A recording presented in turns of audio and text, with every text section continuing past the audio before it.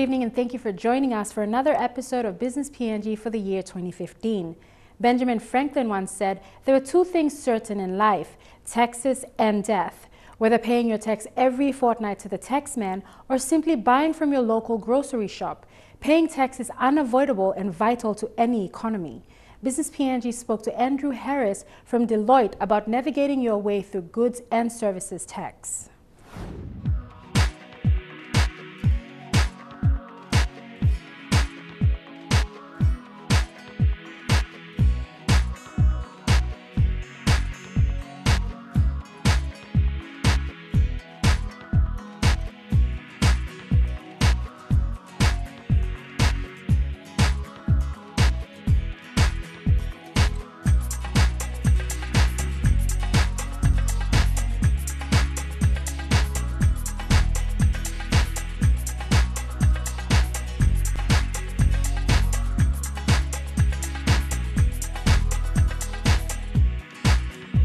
GST, Goods and Services Tax, is imposed on the sale of goods and services in Papua New Guinea or the importation of goods into Papua New Guinea.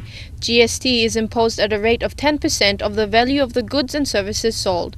GST was introduced into PNG by the Goods and Services Tax Act 2003 and is administered by the IRC and Customs having worked for Deloitte within their tax and business services division in Tanzania, Uganda, and now Papua New Guinea, is Mr. Andrew Harris, who explains the similarities between the economies of the different countries he's worked in.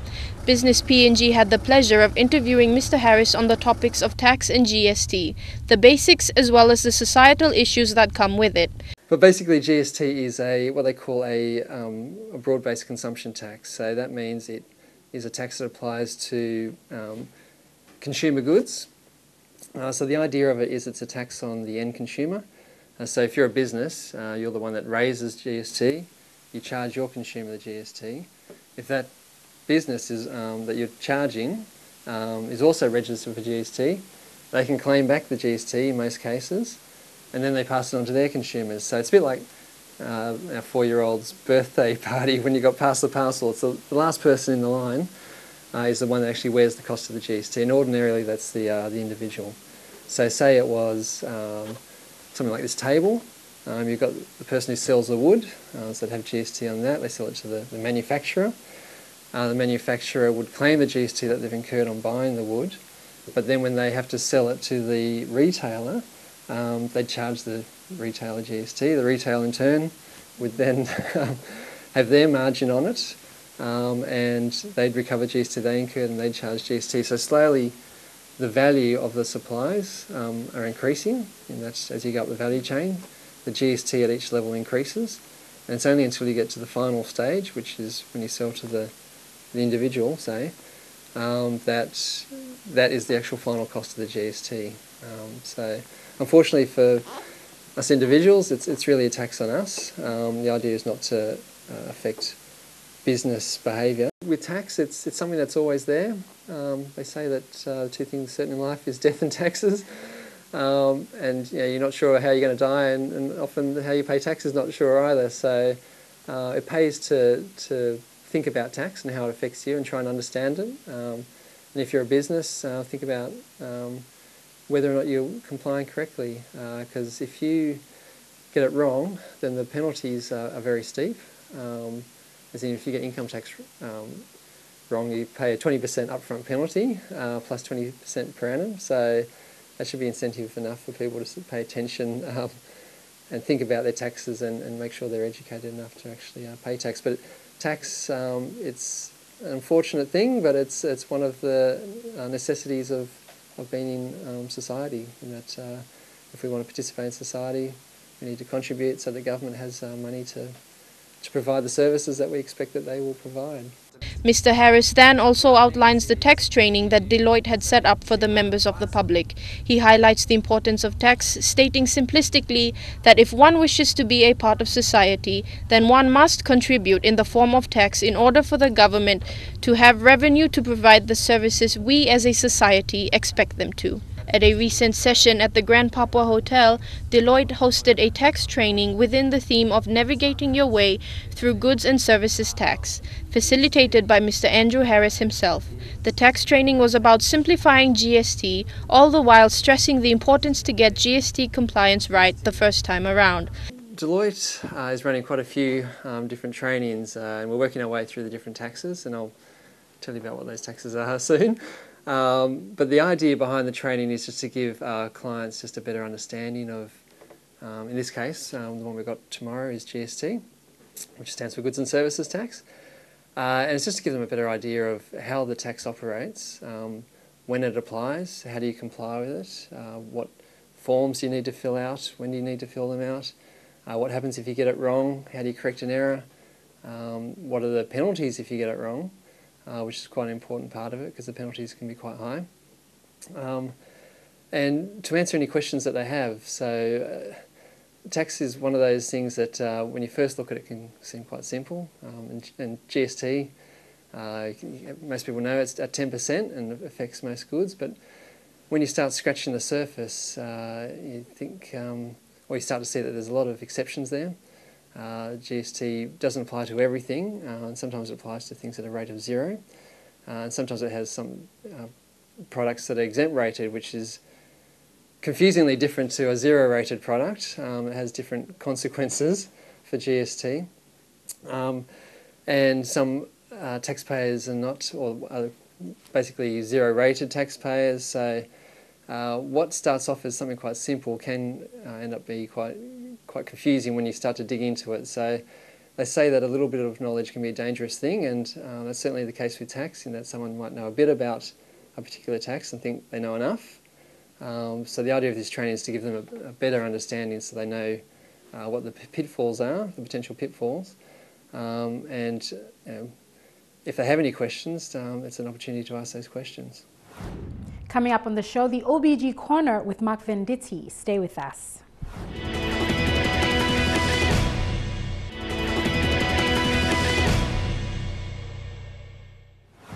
This edition of the OBG Corner, editorial manager of the PNG Report, Marc Venditti, chats with Jonathan Seeto from PricewaterhouseCoopers. Good evening and welcome back to Oxford Business Group uh, Corner. Our uh, guest tonight is Jonathan Seeto. He's the managing partner of PwC, which is one of the largest um, professional services company in the world. Uh, I think we're lucky to have Jonathan here tonight because Jonathan is a pretty difficult uh, man to catch. He's not uh, one of the typical executive you might find in social gathering, but you will find him late at night at his office still working. so I think we should be happy to have him here. Uh, PwC, uh, for people that might not know it, uh, is a very large multinational company. It's present in, in 157 countries around the world. It employs about 200,000 people, and so it has a revenue in 2014 of 34 billion US dollars. One very important thing is the top firms to work for in the United States for two consecutive years.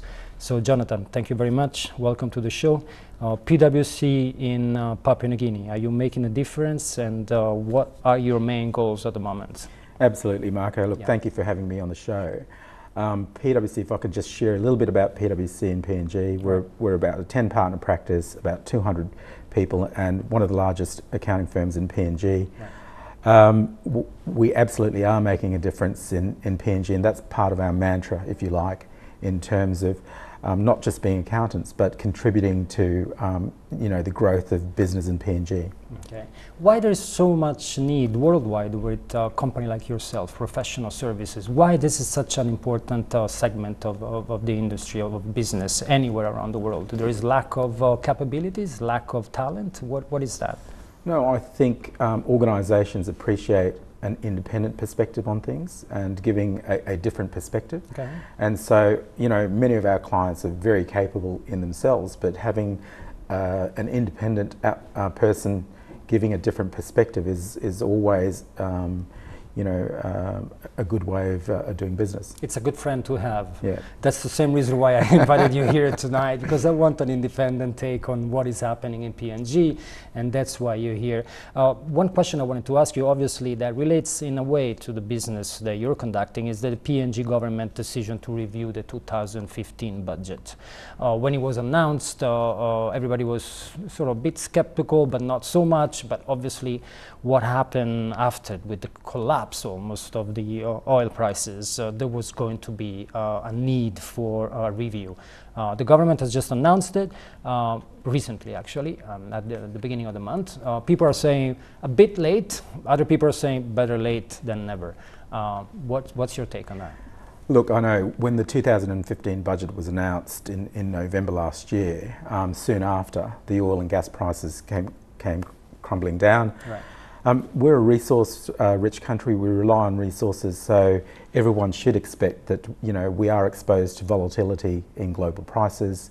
No one can anticipate, as much as we try to, what the prices might be, and so there is always an expectation of um, business and governments that um, should prices change, um, you know there might be a change in the budget. Um, I think the government now recognises this, the impact that, that, the drop in the oil prices and gas prices is having on, on, on the country, and so that's fantastic. Um, and so the mini budget, I guess, is one way of one taking stock of where we're at. Um, I know there's been a lot of um, uh, discussion in the media and discussion in society generally about the impact, and so it'll be great to understand the government's perspective through the mini budget um, and to take stock and to see where we're actually at. Um, I don't think it's, um, it takes a rocket scientist to determine that there will be an impact. You know, when the budget was set, I think the oil price uh, assumption there was around 89, 89 US. Yes. As we sit here today, the oil price is around 60 and fluctuates between 50 and 60, and so there is definitely a difference. Um, we welcome the idea of, you know, reviewing where we're at. I see, obviously. Uh, how big is uh, this problem, you think, for the budget? Look, I mean, we have seen uh, numbers being, um, you know, uh, discussed. Yes, in, in you don't go to social gatherings. I hear all kinds of things. Yeah, there's all sorts of numbers being being discussed, and I, I wouldn't want to proffer a number, but um, um, over the next couple of years, I think one, um, you know, there has been discussion about, um, you know um, over the next couple of years, the deficit could be as high as 2.5 billion. Um, I don't know, we haven't modelled the numbers ourselves, but I think the sentiments are that there will be a, a bigger budget deficit. I see. Now, what does it mean for some of the very ambitious projects that this country had on the pipeline? Uh, this mini budget means that probably some of them will be put aside, especially when it comes to infrastructure. I mean, a lot of liquidity has been sucked uh, for the Pacific Games, I must say the city looks great, better than has ever been, and uh, I think you're in favor, I suppose, of this sort of events, but at the same time, it's taking away a lot of the, a lot of the liquidity. Uh, so, where do we stand at the moment with that? Yeah, I mean, I think the question might be, you know, what can government do to mitigate this this event, if you like? Um, there are a number of things the government could do, and I think one of them is cut spending. Uh, the other thing could be deferring expenditure you know, if that doesn't happen, then um, the government's got to fund it in some way, and usually that's through debt. Um, um, so, so I think that we, you know, I, I, don't think all is lost. There's an opportunity to get this, to correct this and get this right. I see. but at the same time, Moody has just changed PNG's sovereign credit rating to a negative outlook. Yeah. Uh, they're saying that after the fall of uh, energy and other commodity prices, uh, royalties, and the profitability of associated companies, uh, that's serious. What, what, what does it mean? I mean, uh, is PNG in a way losing a little bit of its status that it has gained over several years of continuous double-digit growth? No, look, I don't think so. I mean, I think what Moody's has, has done is, is a, a reflection of fact that the um, government does rely, the country does rely on the LNG revenues. And so, given the drop in oil prices and gas prices, I mean, it is inevitable um, that you get a, such a, re a reaction from Moody's. I think the key is that one, the government recognises that, and two, is what it will do to uh, stem this issue, to address this issue. And as I said, there are a number of opportunities for doing that. Um, how does that impact future future projects? I don't think um, future projects really hinge on that at the moment. I mean, the future, the big projects, if you're talking about Wafi, Wafi Golpu, etc., those projects are hinged on uh, global demand and supply um, of, of resources and resource prices, so nothing really to do with the PNG government per se. Having said that, it is important um, that PNG manages, um, manages our way through this particular issue. I see. Well, talking about that, one of your main uh, tasks is to sort of assess risk in a way. I mean, assurance, I think, is one of the, the most important segment of your of your business. Would you say that this government is still keeping uh, taking too many risks in the fact that it's not diversifying quick enough? Uh, is econ the economy really to be competitive on a global scale and re still relying too much on extractive industries? And and that's the the price you have to pay, I suppose. Look, I think this is part of a longer term journey, right? And so we, you know, um, we, we've got to play on our strengths. Our strengths are in the resources, oil and gas sector. And so, um, you know, you can't, you, you can't um, not do that. I, I, think that's critical. But what's important is that the government has a vision for the future, and, and we see that um, that vision for the future and putting the right things in place. So we've seen more recently the allocation of budget to infrastructure. We recognise that if we don't have the right infrastructure, we aren't going to be able to realise our potential as a country and, a, and, a, and an economy. So putting, um, allocating um, resources to things like, you know, um, infrastructure, power, telecommunications are fundamental to realising some of the potential you can get either from the immediate term in terms of the resource sector or from you know, uh, the future landscape of business in general.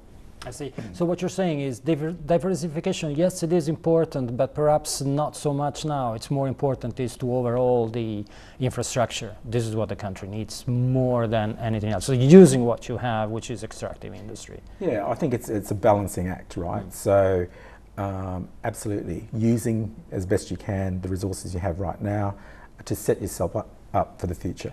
I see.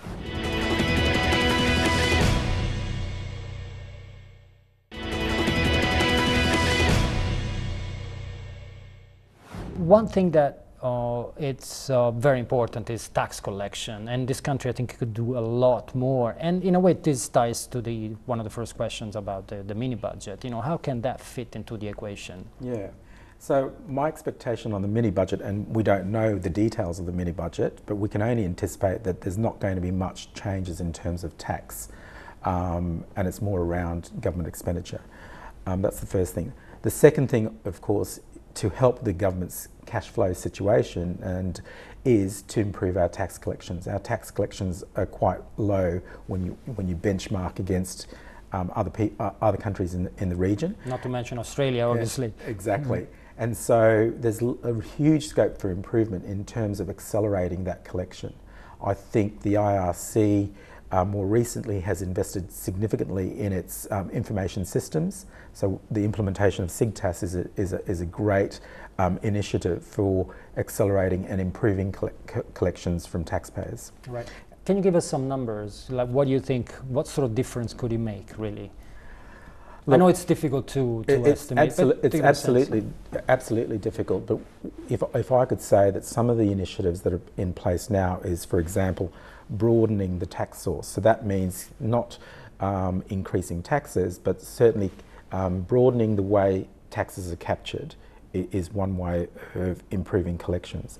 The IPA put out a statistic some time ago that there were approximately 42,500 registered businesses.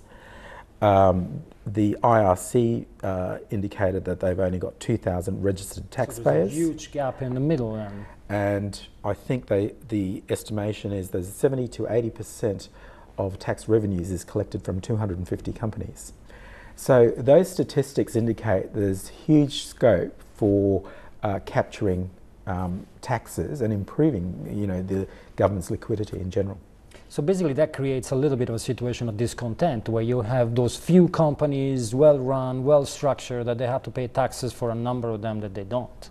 Uh, and that obviously it's something that doesn't go well in the in the business landscape and the corporate landscape of any country. I suppose in PNG that problem is even more acute, let's say. Absolutely, and as a firm we've been saying, maybe the effort, given the limited resources of the Internal Revenue Commission, what they should be doing is looking at um, areas to maximise collections beyond the 250, 250 companies. So maybe putting resources to the um, untaxed, if you like, um, that should be taxed. The people, sorry, the people who aren't paying taxes that should be ta taxed.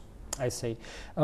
Something that ties to this also is the, the, lack of liquidity that we've seen in the market, especially from uh, about foreign currency. I mean, a lot of, of uh, businesses are complaining, very difficult to get hold of uh, foreign currency, currency nowadays. If they want to buy new equipment, it's very complicated. This is putting a sort of a top on uh, on uh, business growth in PNG. Wouldn't you say that? Is it a really, I mean, does it worry you when you look at that?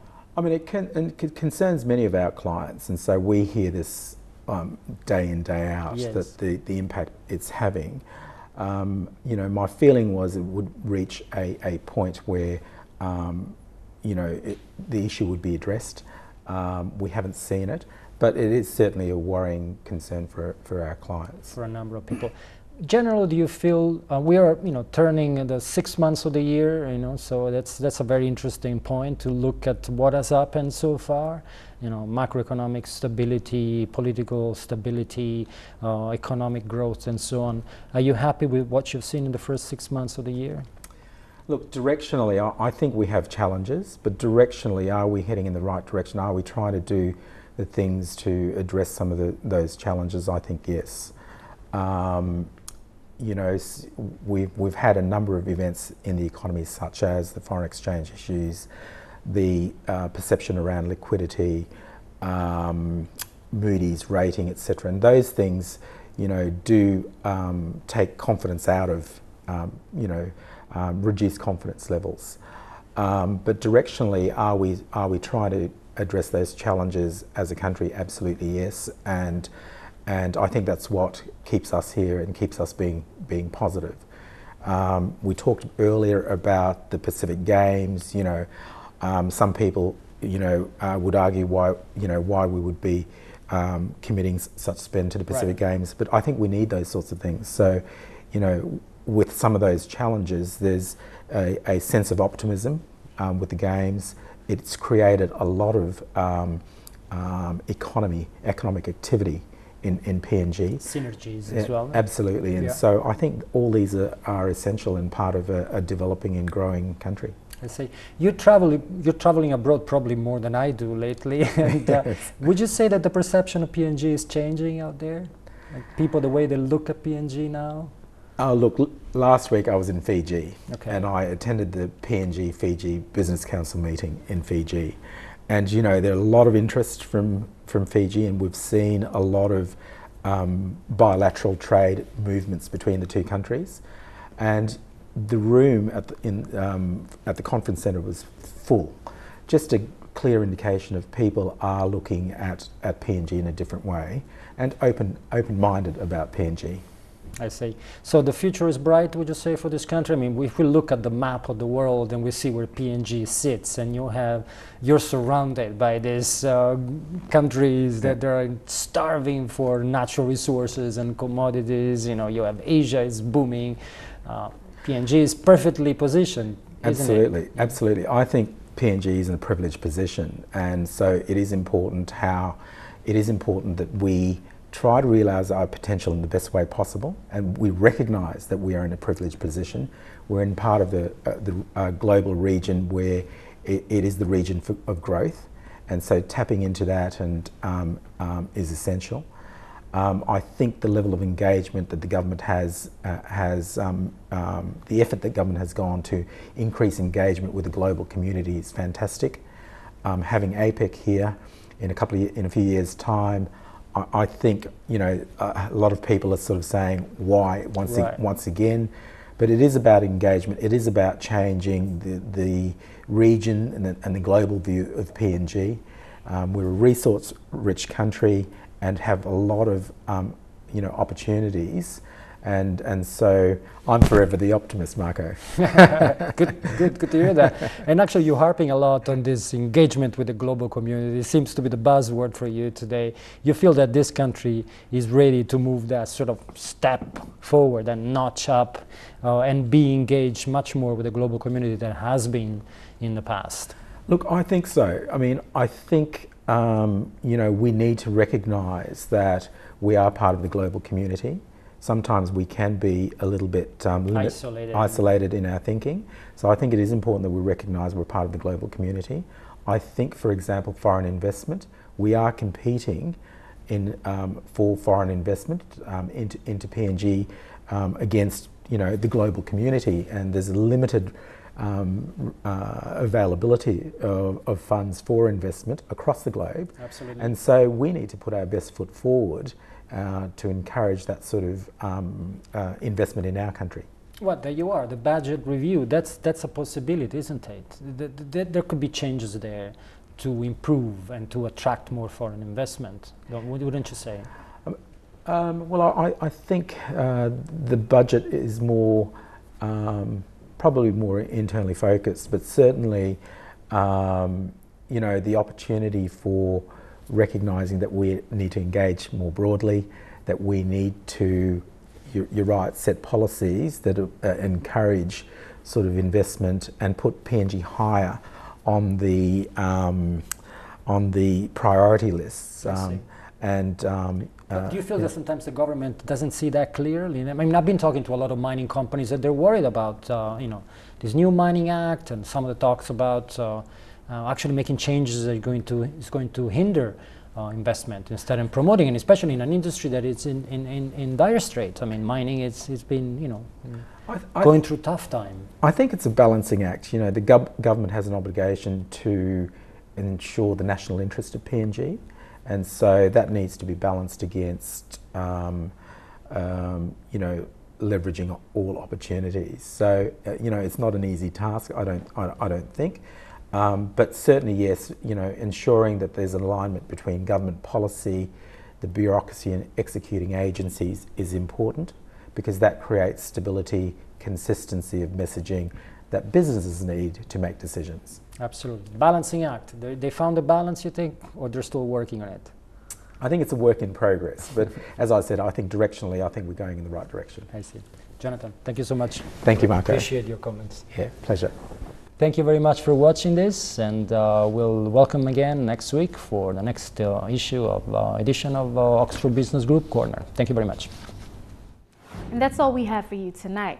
For more business news, or if you would simply like to view this episode again, visit EMTV online at www.emtv.com.pg. Or to join the conversation, like our page on Facebook for daily business news, or follow us on Twitter at BusinessPNG using the hashtag BusinessPNG. Until next week, enjoy the rest of your viewing on EMTV. I'm Leanne Jarari, and this was Business PNG.